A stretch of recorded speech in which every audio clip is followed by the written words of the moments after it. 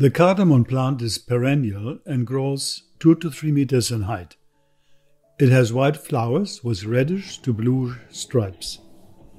The fruit capsules or pods grow near the ground and contain the seeds, which are used as spice. They are gathered before they are ripe to prevent bursting during the drying process, which would lead to loss of the flavor and the essential oil. The plant needs a hot tropical climate for spontaneous wild growth or cultivation. Cardamom has been a domestic spice since more than 3000 years and was and is profusely used in India, Sri Lanka, and all over Southeast Asia. The Egyptians already used cardamom oil for their ceremonies and their perfumes. The spice was later brought to the West and became well known by the Greek and the Romans.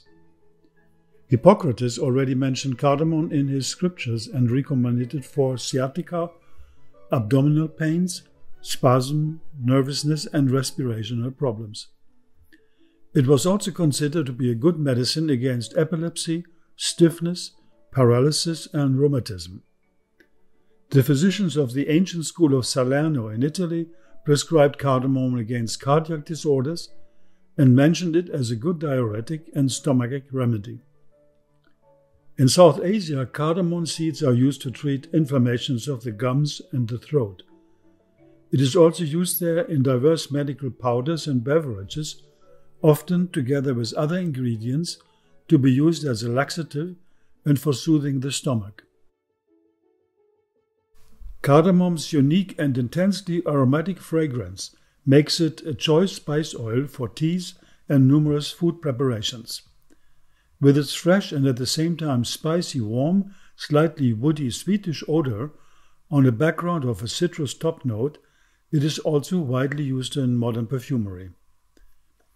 From an Ayurvedic perspective, as Vasant writes in his book The Yoga of Herbs, cardamom awakens the spleen, stimulates samana vayu, the digestive fire or agni, and removes kapha from the stomach and the lungs. It stimulates the mind and heart and gives clarity and joy. It is also considered to detoxify caffeine in coffee and to neutralize the mucus forming properties of milk.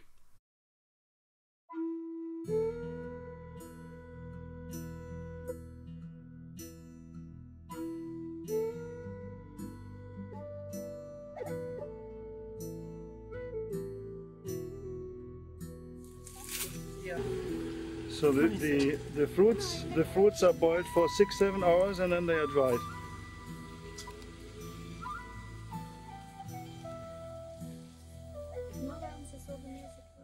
Cardamom's quality is sattvic, and it is particularly good for opening and soothing the flow of the pranas in the body. It is also considered to reduce fever. Chinese medicine describes cardamom as a qi tonic. It emphasizes, on one hand, its strengthening effect on the lungs and on the spleen, and on the other hand, describes it as a nerve tonic and to give joy to the spirit.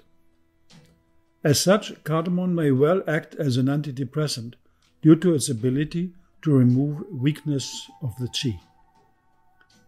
The essential oil's main effect lies in helping digestive disorders. Science has found out that cardamom relaxes and tonifies the intestinal smooth muscle. Frictions with cardamom oil on the stomach or two three drops on honey help relieve indigestion, gas, and bloating. It is also indicated in case of nausea, morning sickness, colitis, irritable bowel syndrome, indigestion, and cramps.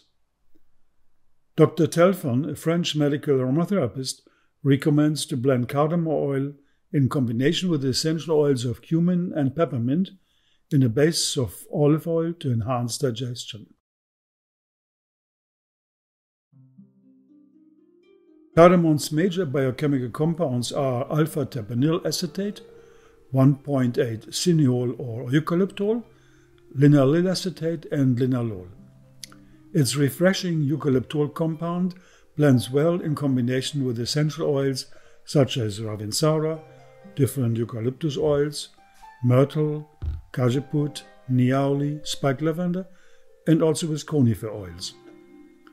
This can well help to prevent and relieve respiratory problems such as congestion of the lungs, bronchial problems, coughing, etc. With its antibacterial effects, cardamom oil may also well be used as a mouth freshener for oral cleansing. Cardamom's popular use today is mainly in culinary preparations and baking products or as an additive to herbal teas and for perfumery, of course. Due to its tonic stimulating effects on the spirit, cardamom oil is highly interesting for use in room sprays and aroma diffusers to refreshen and clear the air and purify the atmosphere. It is excellent to change a dull and sleepy environment. And a few drops of cardamom oil on the stomach and solar plexus have an immediate soothing tonifying effect on our inner environment, so to say. Its warming tonifying character make it also a beautiful oil in combination with carrier oils for massage formulas, for example. Cardamom is truly a gift of Mother Nature. It conveys happiness and has an enlivening character which pleases the spirit in us, and at the same time soothes the physiology. With its strong tuberculous roots groping deep and large into the ground, similar to ginger, curcuma, galgant, or others, the plant shows its well rootedness in the here and now. On the other side, with its vigorous green leaves stretching out to impressive height, cardamom manifests that earthbound energy can rise to a powerful vertical expansion, pulling in maximum of cosmic light and directing it down again very near to the ground and concentrating it into its spicy, sun enkindled fruits. Quite a miracle of performance, one could say. It is through these small sun enkindled fruits with their tiny little seeds that cardamom reveals its true nature, releasing a warming, comfortable, healing energy which is able to strengthen the human metabolic functions and simultaneously helping to uplift and liberate the spirit from its bondage in its physical structure.